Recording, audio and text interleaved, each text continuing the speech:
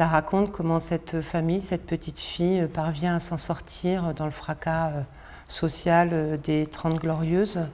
C'est l'histoire d'une tribu bancale qui se retrouve parachutée dans, l'est de la France à la fin des années 50 dans une cité minière à deux pas, des, de la frontière allemande euh, d'une petite fille qui, va, euh, qui, va, qui va refuser euh, les mots, la vie, les comportements qu'on veut lui dicter et qui, et, qui, et qui va dire non très très tôt. Elle va dire non, elle va dire non à, à cette, à cette trajectoire imposée et elle va chercher à, à s'en émanciper. Et, c'est sa mère, c'est sa mère qui va être euh, la première euh, artisane de cette émancipation. C'est une femme qui a eu dix enfants. Elle en a eu six avec un juif, puis quatre avec un algérien. Et cette petite fille, elle est la fille de l'algérien, mais elle porte le nom du juif.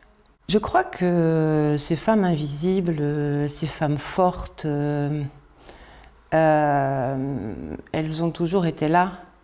Euh, moi, les femmes qui ont peuplé mon enfance, c'était euh, c'était des femmes qui, évidemment, n'avaient pas encore les bénéfices des combats que nous, on a pu avoir pour nous, mais, mais ces femmes, elles, et, qui sont en danger aujourd'hui d'ailleurs, euh, mais ces femmes, elles, elles, elles, ont toujours existé. ça a été le lit de, cette, de, cette, de, cette, révolte, de ce combat. Je pense que c'est elles les premières euh, qui ont. D'ailleurs, c'est nos mères, hein. c'est les mères de celles qui se sont battues après.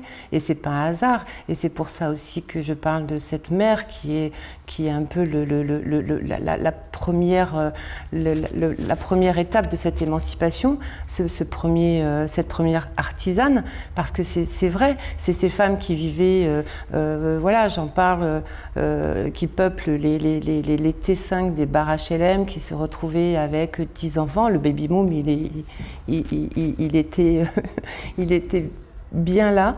Et, ces, femmes-là, elles ont euh, euh, la sororité, le courage. Euh, elles se sont retrouvées souvent seules à élever leurs enfants et, à devoir assumer, à tenir les bateaux à flot. Et donc oui, moi je pense que ce combat-là, c'est pour moi c'est des guerrières, hein. c'est des guérisseuses, c'est des mères et c'est des guerrières avant tout. Parce que la petite fille, euh, cette espèce de, côté, euh, enfin, cette identité hybride, puisque elle est, euh, elle est la fille de, l'Algérien, mais elle porte le nom du Juif, ses pères totalement défaillants autour.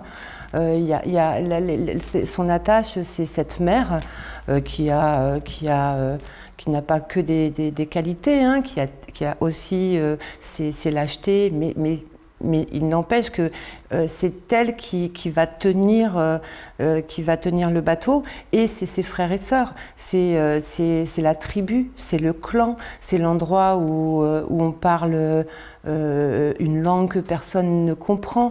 C'est l'endroit où on se réfugie, même si c'est aussi, et vous avez raison de le dire, dans, ce livre, c'est aussi un endroit de violence parce qu'il est aussi question de, violence conjugale, de brutalité sociale, d'un euh, violent, alcoolique, de la mort d'un frère. Il y a énormément de, de, violence, mais c'est là où euh, on lèche ses, plaies et c'est là où on cicatrise ensemble. C'est là où euh, on fait le gros dos et on attend que ça passe. C'est la famille.